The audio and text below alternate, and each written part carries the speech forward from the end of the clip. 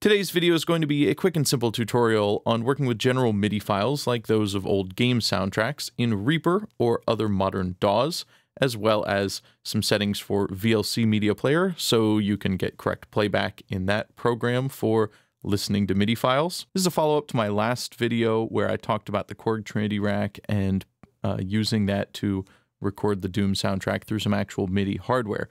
But today we're going to be looking at how to do it in software and some tips and tricks and editing ideas. It's all going to be free plugins, and I'll have links to everything you need down below in the description. So let's head on over to Reaper. So here's a brand new project in Reaper. I've just got my mic for recording purposes.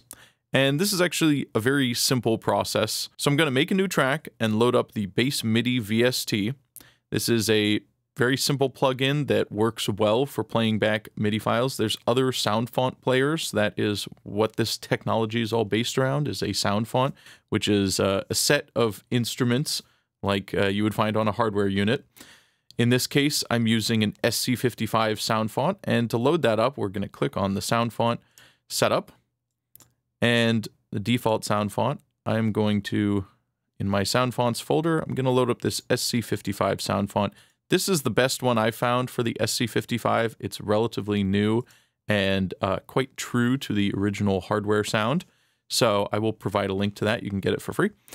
And this plugin also tends to work better than some other sound font plugins uh, at reading all the MIDI messages. So you don't really have to edit the files or do anything complicated. So it makes it really easy. I've got this set up.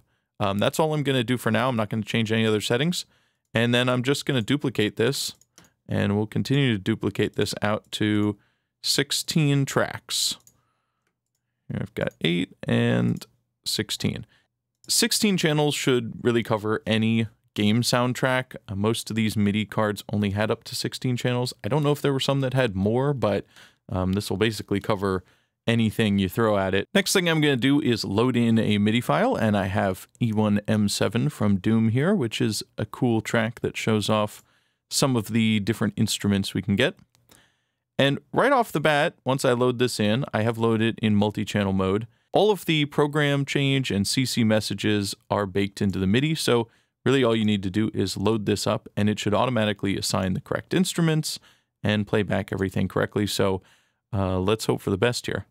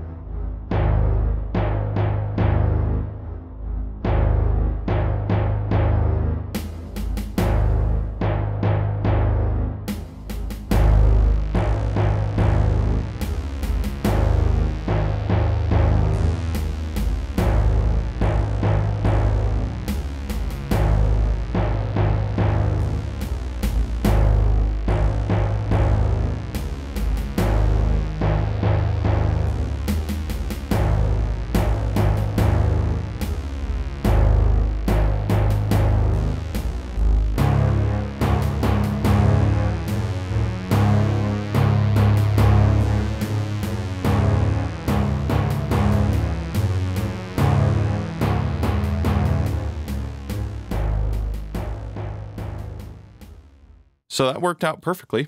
Um, all the sounds worked right out of the box. Now I do notice on some of these, this one correctly says strings, but this one says it's still on piano one, but it's not really, and you can hear that uh, if I solo this saw wave track.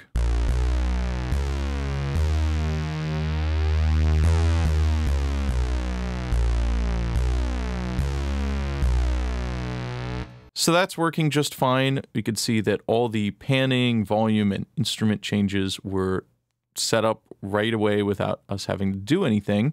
And uh, we're only using 12 tracks. This is actually one of the bigger arrangements for the Doom soundtrack. A lot of them are only five or six tracks.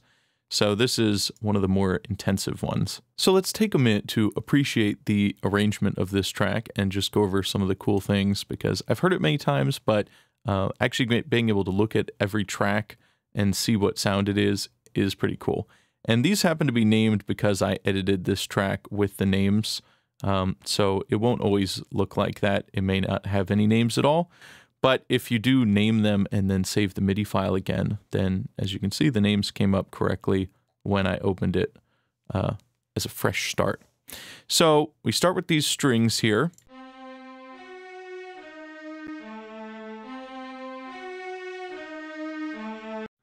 And then we have multiple instruments coming in here. This is the Santur patch, which I'm not really sure what that instrument is. Um, it's a world instrument, I suppose. We have the Santur, pizzicato, and harp all playing a similar melody under the strings, and it all kind of sounds like one voice, but he's stacking different sounds here, so cool little trick.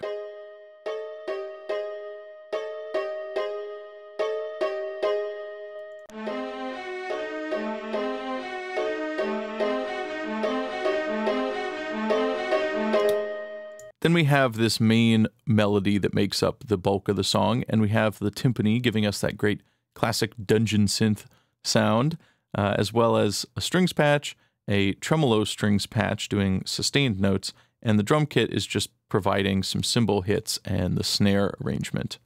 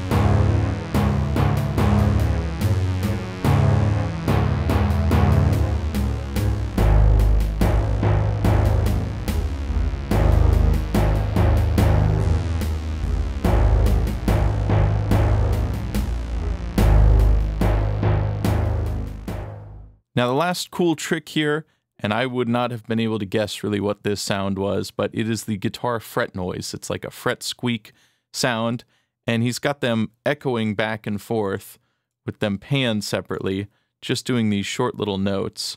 And um, that's this cool effect near the end of the song.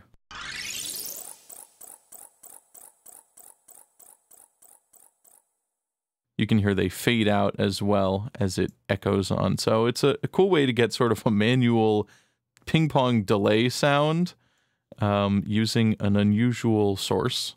But these are the clever little tricks that sometimes you have to uh, work into these cool general MIDI songs.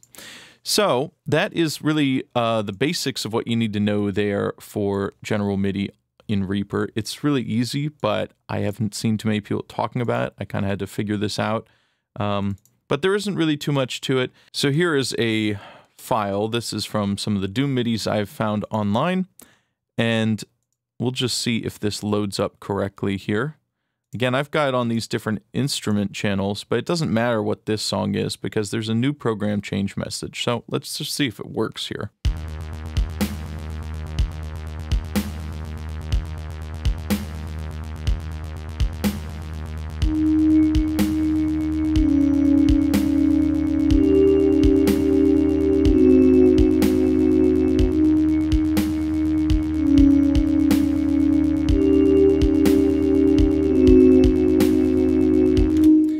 So if we want to edit the instrument uh, or just check what it is, we can just double click on the MIDI file and it should open up with the piano roll. We can go over to this third tab, the events list, and that gives us all the raw data and we can change these values. So in this case, it just says piano one. They all come up as that, so ignore that. Uh, but the value is 92. So that's going to be our voice. Uh, that is what the patch is. And these are all, you have to add one to that. So if it's 92, this is really 93, bowed glass, like a glass harmonica. That's cool. This one here, we can see piano one value 38. That should be 39, which is synth bass one. That sounds correct. And the drum kit is value zero. So if you want to um, fix any of these tracks, uh, they should be value zero if you want the general MIDI drum kit. Let's change this to uh, patch 53, hit enter.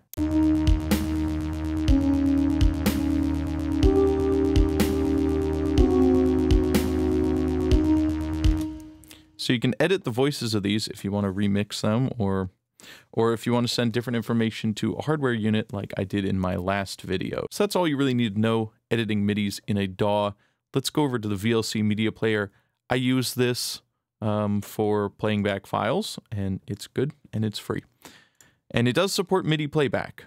So we want to go to our preferences over to the audio tab, go to show settings all in the bottom left. We want to scroll down to input and codecs, audio codecs, and FluidSynth. That is where you can select your sound font. I've got many sound fonts, but I like this SC55 one. Open that up, and then you can play files, MIDI files, directly in VLC. Um, no problem. And you can use any sound font you want. So that's cool. Just hit save, and then we're good to play back MIDI in VLC. One more point, since I didn't mention it in my last video on MIDI hardware, if you want to send this MIDI data to an actual hardware synthesizer like I have, you can just click on this box here on the track and set your MIDI output. I have mine going through my interface, so that's sending to the MIDI there, and you can send to original channels. Sometimes you may need to manually select the channels. If the channel information is already encoded, it may not need it, but um, that's something to try. And you'll need to do that for every MIDI track you have. Just open this up and send this to my interface, which will be sent to the hardware. And then you'll need a new track recording the audio output from your hardware into uh, Reaper again. But it works fine. Hopefully this is helpful in your MIDI adventures. And if you have any questions, you can leave them down in the comments or come on over to my Discord. I will be doing some more game soundtrack arrangement with old MIDI hardware in the future, so stay tuned for that. And as always, like and subscribe, and I'll see you in the next video.